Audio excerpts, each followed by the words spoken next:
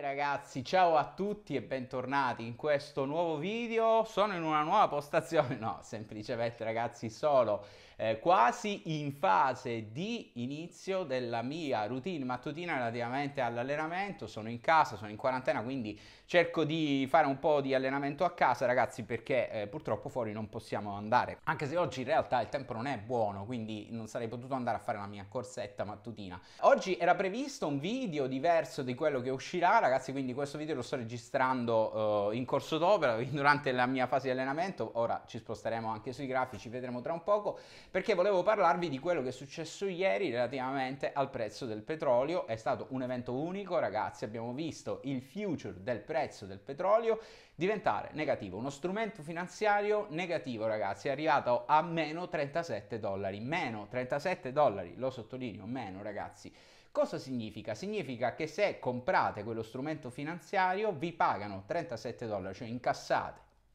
30 dollari per prendervi il future. Beh ragazzi, allora a questo punto ne compriamo centinaia, no? Perché è successa questa cosa ragazzi? Perché se detenete eh, quel future ovviamente i, per gli istituzionali non è per i retail, eh, vi portano il petrolio, quindi voi dovete poi tenervi il barile, proprio il barile ragazzi, vi portano il barile di petrolio e lo dovete detenere. Siccome c'è un problema grosso con le scorte di petrolio in questi eh, ultimi mesi ragazzi causato dal fatto che c'è il problema del virus, quindi la produzione ragazzi si è fermata nel mondo, anche da questo potete immaginare, comprendere come in effetti eh, la scommessa, tra virgolette, di, di, Wall Street dovuta ai rialzi degli ultimi, delle ultime due o tre settimane sia una scommessa ehm, un po' forse eccessiva, un po' causata appunto da, questa, eh, da queste forze monetarie che si sono messe in gioco, ma poi in effetti ragazzi una commodity del petrolio ci indica in maniera eh, rigida, dura, che eh, la produzione si è bloccata di mezzo pianeta ragazzi, perché il petrolio non viene consumato non venendo consumato il petrolio, ragazzi, non si sa dove metterlo perché i depositi, le scorte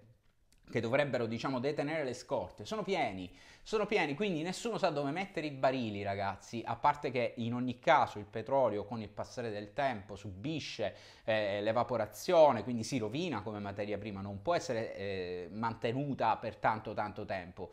E, e, quindi ragazzi, in sostanza, siccome gli estrattori non si vogliono fermare di petrolio perché magari c'è un costo superiore nel fermarli e riattivarli, eh, vi pagano se vi comprate il petrolio e ve lo tenete a casa vostra. Eh, questo problema del rollover ci porta anche a farci capire, ragazzi, come l'investimento sul eh, petrolio sia estremamente complesso da fare e non alla portata di tutti. Ma come sempre accade quando uno strumento finanziario collassa e crolla, ragazzi, quello che accade è che tutti si risvegliano con il famosissimo bias finanziario che abbiamo quando vediamo un prezzo che crolla, che va giù, compro a sconto. Ancora una volta ragazzi vi trovo qui a parlare sul canale di questa problematica, problematica che in linea di massima ragazzi credo sia stata una cosa che da sempre esiste nel mondo. Ne ho parlato tantissimo del famoso compra sconto. Io sono convinto che nel 1929 eh, in America, ragazzi, tra una passeggiata tra Al Capone e Elliot Ness c'era qualcuno che gli diceva sicuramente anche a loro compriamo a sconto, Elliot, compriamo a sconto perché il mercato è crollato. Vabbè, Scherzi a parte, ovviamente, un po' per sdrammatizzare. Ragazzi, questo problema de, eh, del comprare a sconto si chiama strategia by the dips ed è ehm, una strategia estremamente complessa. Nel mio corso di formazione come fare trading, eh, It's Trading Time, trovate il link in descrizione ragazzi, parlo proprio di una metodologia per fare questa uh, cosa qui, questa strategia, perché non è facile ragazzi, in questo corso io parlo solo di metodi, e insegno un metodo di ragionamento in modo tale che voi possiate anche eh, imparare la vostra eh, strategia, assumerla, plasmarla secondo quello che sono le vostre conoscenze. Quindi è un metodo, ragazzi, per cui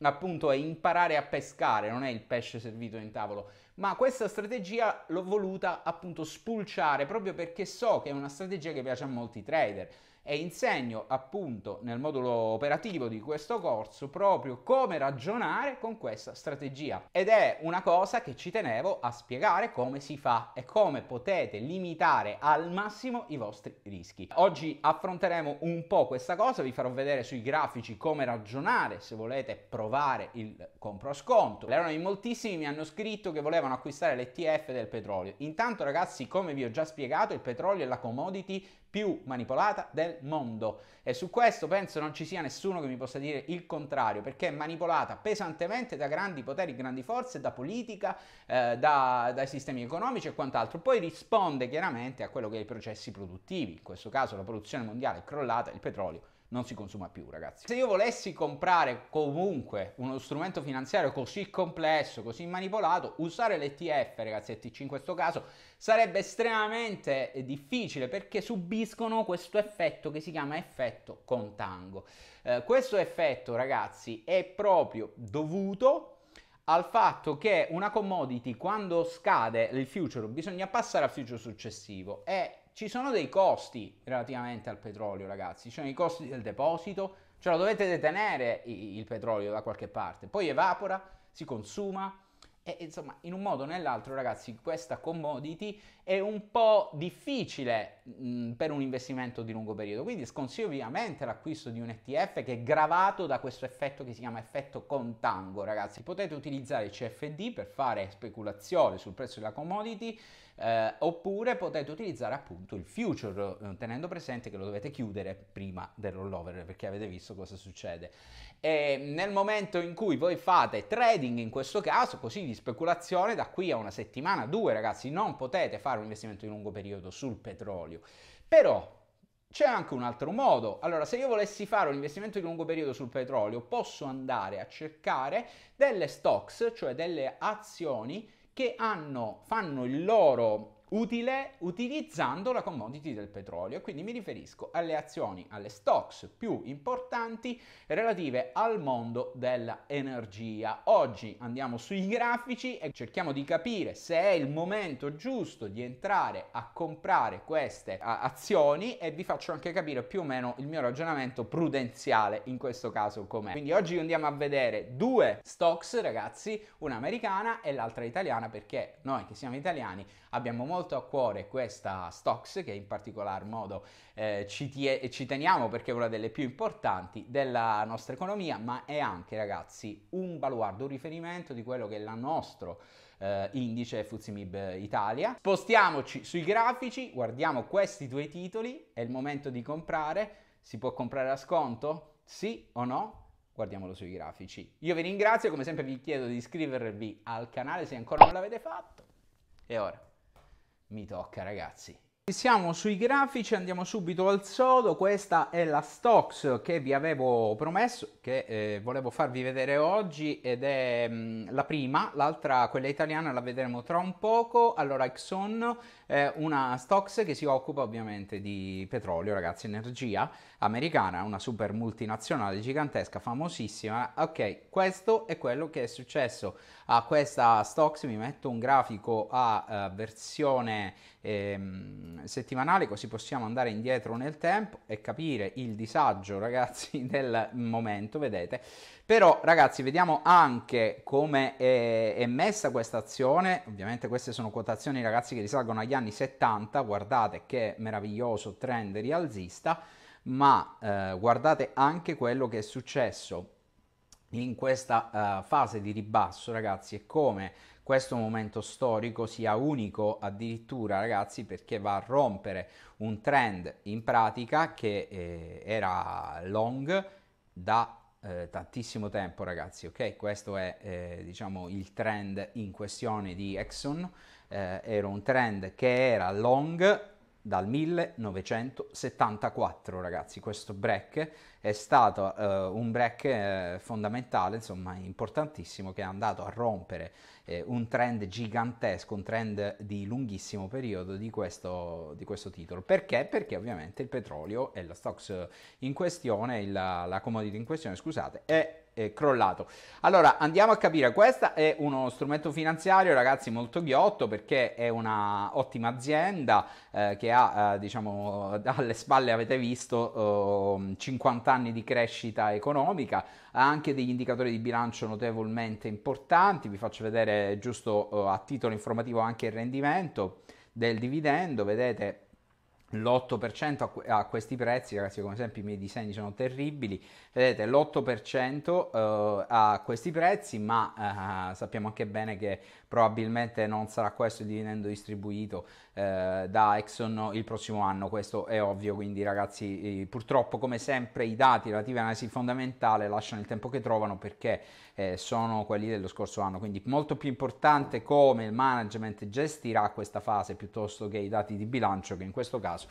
eh, non servono assolutamente a niente eh, in quanto eh, non ho, sono comprensivi di questa fase eh, di, della pandemia, di questo crollo del petrolio. Allora andiamo a guardare invece i grafici che non mentono mai e andiamo a vedere quello che sta succedendo a questa stocks. È il momento di comprare, c'è un super supporto che è qui a 30 dollari appunto che era quello del luglio del ehm, ragazzi 2002, quindi un ribasso incredibile perché questo titolo è ritornato indietro eh, di 20 anni, in pratica ragazzi, è ritornato indietro quasi di 20 anni perché è ritornata ai minimi eh, del 2002, mentre qual è il livello di resistenza di questa super barra di congestione? Eh, chi sa un po' di trading, ragazzi, chi ha studiato, chi ha fatto formazione, sa che il, il eh, titolo in questione ha fatto un break fondamentale di una barra di congestione lunghissima che potrebbe essere anche indicativa eh, di un'inversione di lungo periodo. Ci dice che questo titolo, con questo break qui, è il break che vi ho fatto vedere prima della trend line, ha rotto i livelli di supporto di una uh, trend di lunghissimo periodo, 30 anni circa. E che quindi se noi compriamo una stocks di questo tipo, ragazzi, dovete ricordarvi che state comprando una stocks che ha dato un'indicazione sui prezzi di un break eh, di un trend di 30 anni. Quindi tecnicamente potrebbe eh, scendere per i prossimi 10 anni, ragazzi, non ci sarebbe niente di strano. Ovviamente mh, ragionando un po' anche, utilizzando l'analisi fondamentale, il fatto che magari in questo momento questo prezzo è stato così basso per via del petrolio,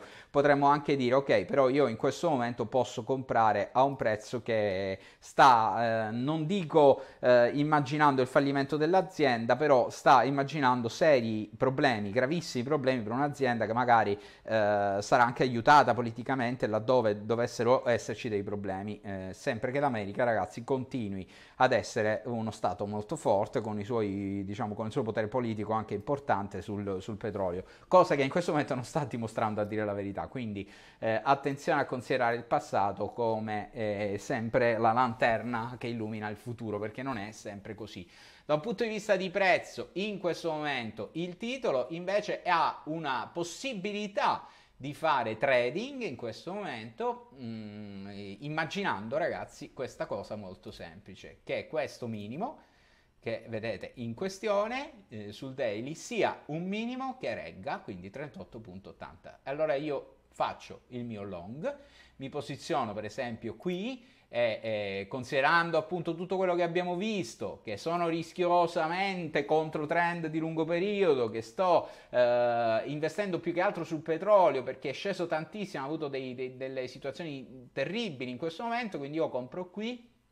però attenzione che posso fare due cose. Allora, se il mercato, se la, la Stocks Exxon va sotto eh, 38,90 e ci chiude, quindi va qua sotto ragazzi, qui, a questo punto eh, io rischio che il mercato vada a fare questa gamba ribassista sotto questo minimo. Quindi questo dovete saperlo. Dove potrebbe andare al di sotto di questo minimo? Vi faccio vedere giusto per capire. Al di sotto di questo minimo, ragazzi, il livello successivo reale di supporto, quello grossissimo, è addirittura a metà prezzo, ragazzi, 17 dollari. Poi ci sono una serie di livelli intermedi che sono un po' più piccolini, che vedete qui. Poi i mercati, ragazzi, quando vanno in panico agiscono di pancia e quindi è pericoloso perché potreste vedere questo eh, strumento rompere i 30 dollari e iniziare a collassare, a bucare tutto qui e magari a fermarsi a 20 dollari. Voi dite, ah ma io aspetto il lungo periodo, ancora con questa storia. Eh, eh, ragazzi, eh, per recuperare una perdita del 50% su una stocks, eh, eh, insomma, ci vogliono anni, ragazzi. Quindi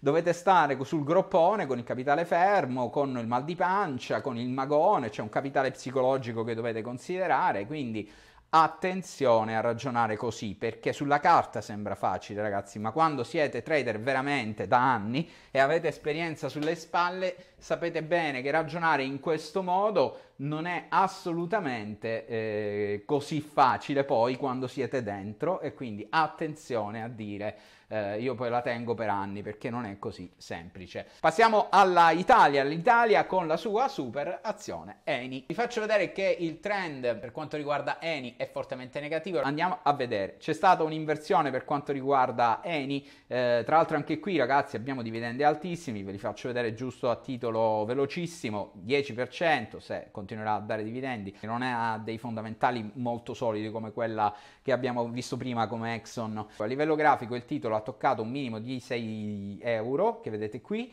poi è rimbalzata addirittura quasi raddoppiando, è arrivata a 10 euro l'altro giorno, quindi il 2 aprile, e è iniziato diciamo questa sua fase. Allora la reazione è stata fortissima, ma è anche andata a chiudere questo gap che vedete qui, quindi da un punto di vista tecnico bisogna starsi attenti perché in realtà questa configurazione di eh, rottura al ribasso, recupero e chiusura del gap prevede una nuova gamba eh, ribassista con la solita forma eh, della BC che è una forma eh, di analisi tecnica eh, molto comune in questo tipo di, di, ambiti, quindi potrebbe accadere questo. In questa frangente qui potreste tentare la famosa dollar cost average, fermo restando che però ragazzi se si va giù di 6 dollari eh, di 6 euro, scusate, eh, poi bisogna andare in stop loss perché questo titolo è pericolosissimo a quel punto. Eh, ricordatevi che il 23 c'è eh, la riunione dell'Europa e eh, insomma sarà importantissimo anche per le sorti del nostro strumento Eni che eh, insomma non è messo benissimo, anche oggi perde il 4%. Quindi se dovessi dire insomma i, mh, le stocks del petrolio, Exxon è meglio in questo caso di Eni. Eh, sono fortemente difficili da gestire questi, in questi momenti queste stocks, ragazzi andateci con i piedi di piombo, vi ricordo che il trading è estremamente rischioso e se fate delle cose del genere dovete avere formazione alle spalle, a prescindere ragazzi. E noi ci rivediamo nel prossimo video, lasciatemi un pollice in su se ancora non l'avete fatto, iscrivetevi al canale, ciao a tutti.